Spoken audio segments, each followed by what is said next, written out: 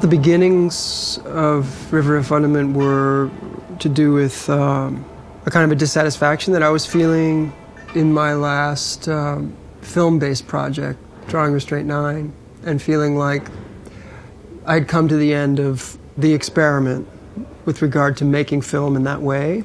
And around that time, Jonathan Bepler and I had talked about the possibility of making something in a live situation.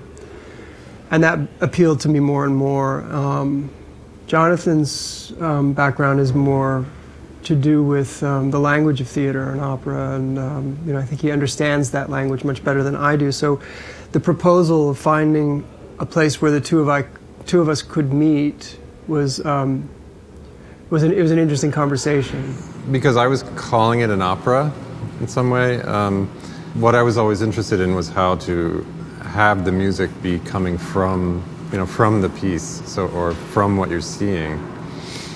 So then it was yeah it was about finding you know finding the musicality in every moment that was being proposed. You know, so we we had sometimes started with narrative idea. There was some something going to happen, and then I would, was thinking about how to find how to make that music.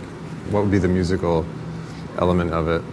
And other times it started just with you know musical desire, and then we made that sort of be part of the, the narrative. You know, we considered both what was happening physically and what was happening musically, and tried to find different ways of integrating them.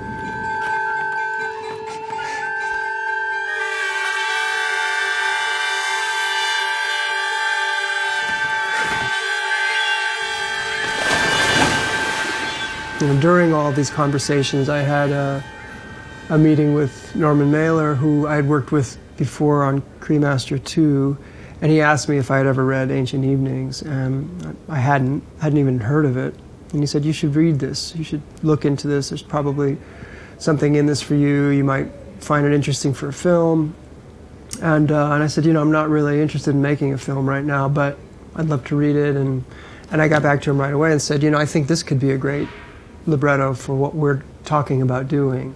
So we talked a little bit about it, and then unfortunately he passed away not long after that. So, so then there was this text that sort of landed in our laps, and um, and it grew from there. Many lights appeared above my head, and they were like a ladder of lights with many rungs. I seized the first and began to ascend from the river. The ladder twisted and was not easy to climb, but as it swayed, the fields of gold on the other bank receded from me. You know, the structure of the film has uh, this domestic interior as its backbone, and over the course of the story, the, the house changes. Um, the guests, which begin as sort of naturalistic characters, um, transform and um, they're replaced by um, these sort of spirit characters. And um, occasionally we cut away from the house and out into the landscape. And when that happens, those scenes are these live performed scenes that are witnessed by a group of onlookers. So I guess structurally, I was thinking about something like Wizard of Oz, where you have this sort of domestic uh, interior that you that you uh, cut away from and you go out into this space where anything is possible. You know, that said, that there's a kind of an inversion of that idea with this project that, that in the performed scenes, it's clear that what you're seeing actually happened. It happened in real time. So that in a way, it's much more concrete than that domestic interior, which is the opposite of, of Wizard of Oz, really.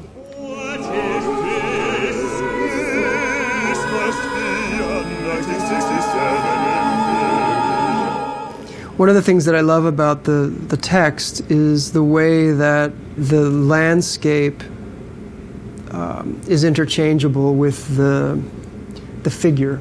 That, that the figure or the, the protagonist is dying. In the beginning of Ancient Evenings, you know, you, you are hearing first person the account of a person dying and his various soul states visiting him.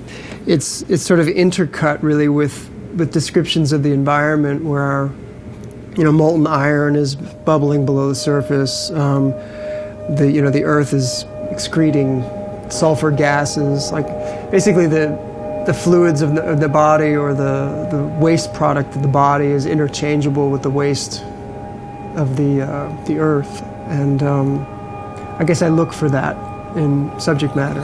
I'm interested in that, in in kind of displacing human human emotion or sort of um, that kind of um, organicness in a human character into architecture, into landscape. I always feel that music has its own sort of physicality, and I try uh, to to not start with the images. You know, to have the at the same time the images are kind of being generated, that the music have that genesis also. That there's a sort of conceptual bud or something, and then the music comes out of that on my side, and then the visuals are sort of coming up from Matthew's side. So the instruments made on the assembly line in Detroit out of sheet metal, the idea for that came from visiting locations in Detroit and visiting assembly line and car manufacturers. And we had thought of possibly trying to do a scene at a working car, you know, assembly line. And then somehow it morphed to not being a real assembly line, but kind of having a recital situation. Um, and the assembly line was there to make the instruments which were played at the recital. Um, and then how they how they ended up sounding was, um, in a way, secondary.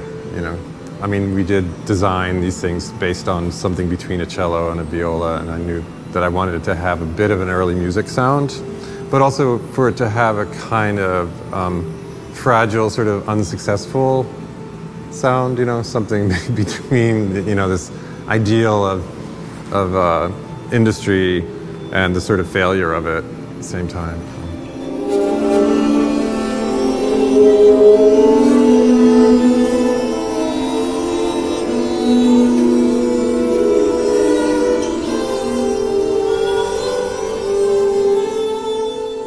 What I need out of a, a subject is a kind of host body that my work can pass through.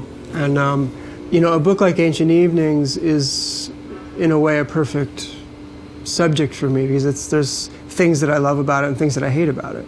And it has that kind of conflict in it. And Mailer has that kind of conflict in him, you know. But it's, it's not really about him, nor is it even an adaptation of Ancient Evenings, in my opinion. It's, it's sort of more about a guest passing through a host body and making intermittent contact with it and moving on.